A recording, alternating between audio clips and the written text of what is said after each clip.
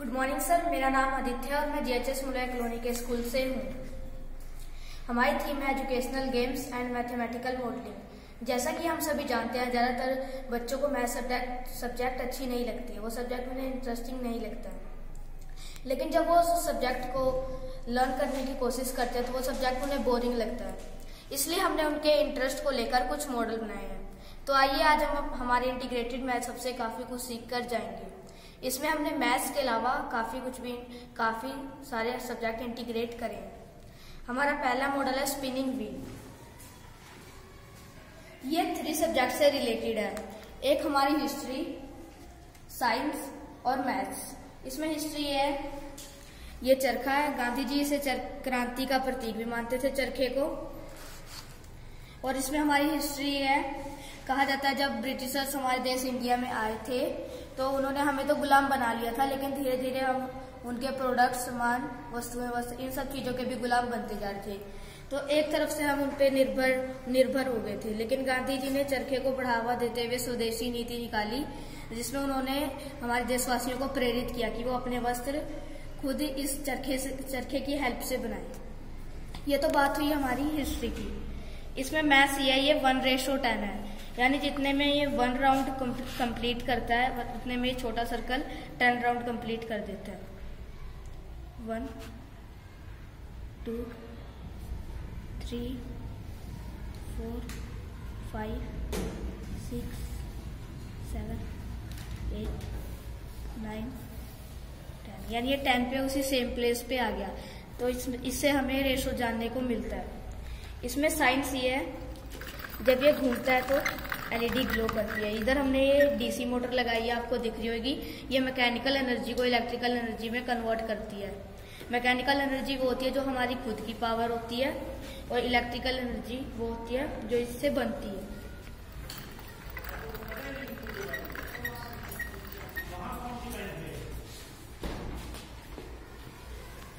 Sir, ये हमारे आई का मॉडल है। सर, आज हम इस मॉडल के थ्रू आज हम इस मॉडल के थ्रू सीखेंगे हमारी आई कैसे देखती है, कैसे वर्क करती है। इसमें हमने कुछ मैथ्स की शेप्स ली हैं, ये फेयर शेप और सिलेंड्रिकल शेप जब हम इससे देखते हैं तो जो जब हम इससे देखते हैं दूर तो जो पिक है वो हमें उल्टी नज़र आती है। ऐसा हमारी आई के साथ भी होता है। जो हमारे आई के पीछे रिटीना में वो इमेज बनती है। लेकिन हमारा ब्रेन उसे सीधी कर देता है इमेज को। ये हमारा ट्राइंगल पजल है। जैसा कि हम जानते हैं बच्चों को पजल खेलनी बहुत अच्छी लगती है। इसमें हमने पजल के साथ साथ मैथ्स भी इंटीग्रेट कर लिया। यहाँ पे आपको एक ट्राइंगल शेप देखने को मिल रही होगी। यहाँ पे हमने नंबरिंग करी हुई है वन, टू, नाइन। नाइन, इसमें हमें एक, हमारी कई सारी प्रैक्टिकल शेप्स के बारे में सीखने को मिलता है। जो नाइन है वो सर्कल है। यानी हमने नाइन को सर्कल माना है। Two plus seven plus four plus six. यानी two plus seven plus four plus six. यह हमारा हेक्सागन बनता है। One, three and five equilateral triangle क्योंकि इनकी sides equal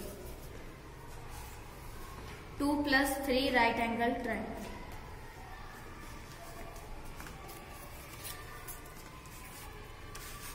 यहाँ पे हमें राइट एंगल ट्राइंगल देखने को मिल रहा है।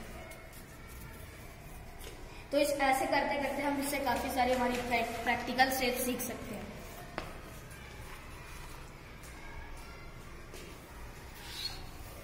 ये न्यूटन डिस्क है। ये हमने यहाँ पे रेनबो कलर लिए हैं। जब हम इन्हें घुमाते हैं तो ये कलर, कलर मिलके व्हाइट कलर बनाते हैं। ऐसा इसलिए होता है क्योंकि ये डिस्टिक्शन ऑफ़ कलर होते हैं।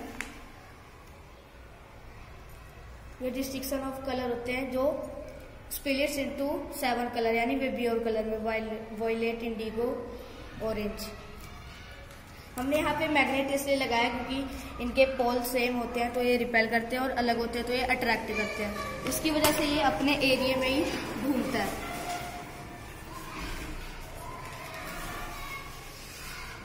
ये हमने डीसी मोटर बनाई है। ये हमने डीसी मोटर बनाई है। इसको बनाने के लिए हमने यहाँ पे एक सेल लिया सेल को फिट किया है और हमने इसके साइड में दो सेफ्टी पिंस लगाई हैं। और हमने एक कॉपर वायर लिया, हमने इसको ट्वेंटी बार रोल किया है। हमने इसे इस साइड से पूरा साफ़ किया है और इस साइड से हमने इसको सिर्फ़ नीचे से साफ़ किया है। ऐसा हमने इसलिए किया है ताकि जो इसकी जो इसके पोल्स हैं वो चेंज होते रहें। सर, ये हमारा जो सर्किट है वो कंप्लीट हो चुका है। सर, हमें पता है, सर, जब कोई भी सर्किट कंप्लीट होता है तो उसकी भी अपनी एक अलग मैग्नेटिक फ़ील्ड बन जाती है। और यहाँ हमने मैग्नेट लगाया, उसकी भी अपनी एक अलग मैग्नेटिक फ़ील्ड है। उसकी वजह से इसकी जो पोलैरिटी यानी जो पोल्स हैं, वो बदलते रहते हैं। इसमें मैथ्स ये है, ये two D to three D है। यानी अभी आपको ये टू डी सर्कल में नज़र आता है, आ रहा है, लेकिन जब ये घूमता है तो आपको ये थ्री डी स्फेयर में नज़र आता है।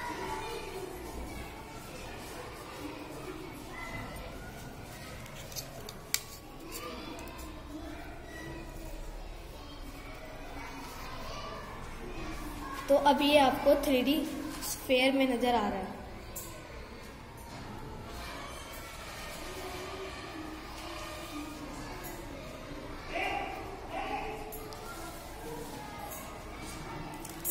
वैसे तो हम साउंड को देख नहीं सकते हैं, लेकिन मैं आपको आज इस मॉडल के ज़रिए साउंड को दिखाऊँगा भी और साउंड के बारे में काफ़ी कुछ बताऊँगा भी। अब आप सोच रहे होंगे इसमें मैथ्स क्या, कहा है? ये हमने कुछ मैथ्स की शेप से बनाया है, जैसे ये रेक्टेंगुलर शेप ये सर्कुलर शेप और ये कीबोर्ड शेप और ये जो हमने यहाँ पे मिरर लगाया, ये काइट शेप जब हम लेजर को ऑन करते हैं और यहाँ पे जब कुछ बोलते हैं तो साउंड वाइब्रेट होती है। इंटीग्रेटेड मैथ्स हब यहाँ पे आपको साउंड वाइब्रेट करते हुए दिखाई दे रही होगी। इससे हमें पता चलता है कि साउंड में भी वाइब्रेशंस होती हैं। और हमारी साउंड जो है वो वेव्स की फॉर्म में ट्रेवल करती है। ये काउंटिंग मशीन है, इससे बच्चे वन टू नाइनटी नाइन तक काउंटिंग इजिली सीख सकते हैं। इसे हमें स्टार्ट करने के लिए ज़ीरो ज़ीरो से स्टार्ट करना पड़ेगा। One two three four five six seven eight nine ten जब यहाँ पे टेन आ जाएगा तो हम इसे आगे कर देंगे। Eleven twelve thirteen fourteen fifteen ऐसे करते करते हम इससे वन टू नाइनटी नाइन तक काउंटिंग सीख सकते हैं। इस मॉडल से हमें rotates order of rotation symmetry के बारे में काफ़ी कुछ जानने को मिलता है। आपको यहाँ पे दो दो डॉट्स दिखाई दे रहे होंगे। ये फुल रोटेशन में उधर कितनी बार आता है हमें ये पता करना है। जब हम इसे रोटेट करेंगे one two three four five यानी इसकी ऑर्डर ऑफ़ रोटेशन सिमिट्री हुई फाइव ऐसे करते करते हम इन बाकी शेप्स की भी ऑर्डर ऑफ़ रोटेशन सिमिट्री जान सकते ये हमारा कलर व्हील है। इस मॉडल के ज़रिए आज मैं आपको सर्कल की ऑर्डर ऑफ़ रोटेशन सिमिट्री बताऊँगा। यहाँ पे भी हमने दो डॉट्स लगाए हैं। इसकी ऑर्डर ऑफ़ रोटेशन सिमिट्री जानने के लिए मैं इसको 360 की फुल रोटेशन दूँगा। देखने में ऊपर वाला सर्कल नीचे वाले सर्कल की तरह रहता है। इसलिए इसकी order of rotation symmetry infinite यानी अनंत हुई। यहाँ पे हमने ये कुछ प्राइमरी कलरों से बनाया है, यानी रेड ब्लू और येलो और इससे बन, इससे मिलके जो कलर बनते हैं, उन्हें हम सेकेंडरी कलर कहते हैं। जैसे हम यहाँ पे देख सकते हैं। डार्क ब्लू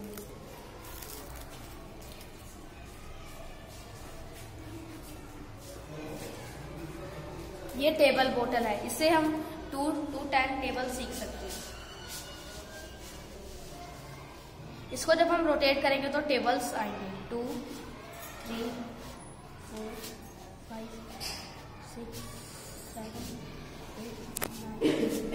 ये तो बात हुई टेंथ तक टेबल सीखने की लेकिन अगर हमें इससे ज़्यादा टेबल सीखने हो तो हमने एक गेम बनाई है। ये हमारी गेम है जिसका नाम है नेपियर बोर्ड अगर हमें थर्टी टू का टेबल सीखना हो तो हमें ये, ये इनको हमने परमानेंट चिपकाया नहीं है ताकि हम इसे हिला के और भी टेबल सीख सकें। अगर हमें थर्टी टू का टेबल सीखना हो तो थर्टी टू वन ज़ा thirty two thirty two two ज़ा sixty four, thirty two three ज़ा ninety six, thirty two four ज़ा वन ट्वेंटी एट। जो डायगनल में नंबर आ रहे हैं, आपको यहाँ पे रेज दिखाई दे रही होंगी। जो डायगनल में नंबर आ रहे हैं, जैसे टू और ज़ीरो इसे हम ऐड करेंगे। टू प्लस ज़ीरो तो टू ही आएगा, इसलिए फोर ज़ा वन ट्वेंटी एट। फाइव ज़ा फाइव प्लस वन सिक्स इसलिए वन सिक्सटी ऐसे करते करते इससे हम काफ़ी टेबल सीख सकते हैं।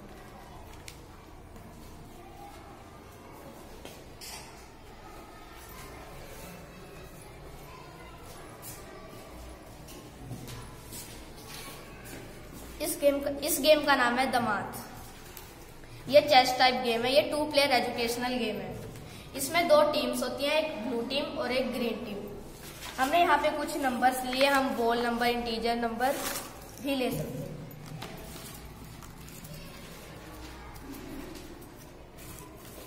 इधर आप देख सकते हैं, हमने कुछ मैथ्स की ऑपरेशंस लगाई हैं।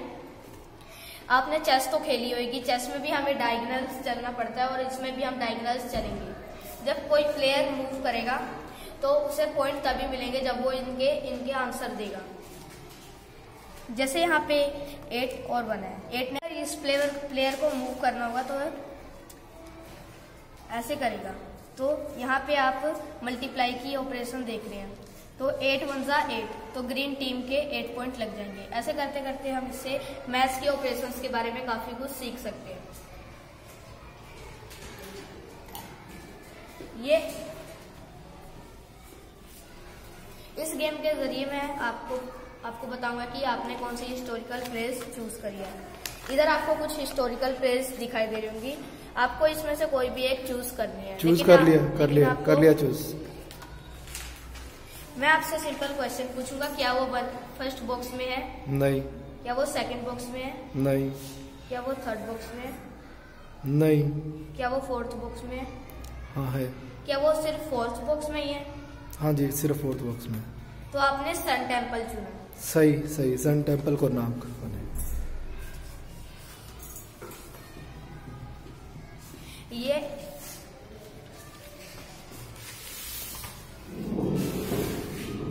ये एडिशन मार्बल है। छोटे बच्चों को ऐड करनी अच्छी नहीं लगती है। इसलिए हमने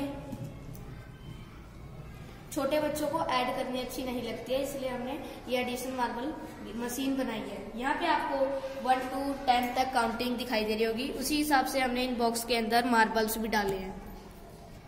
और ये आपको हर एक काउंटिंग के नीचे स्टिक्स दिखाई दे रही है। अगर बच्चों को टू और थ्री का ऐड चाहिए तो वो थ्री स्टिक को खींचेंगे। और टू स्टिक तो इसका जो ऐड है, वो इस बॉक्स में आएगा। Three plus two five. तो वो यहाँ से काउंट करके पता लगा सकते हैं कि थ्री प्लस टू फाइव होते हैं। One two three four five तो इससे वो इजीली ऐड करना सीख सकते हैं।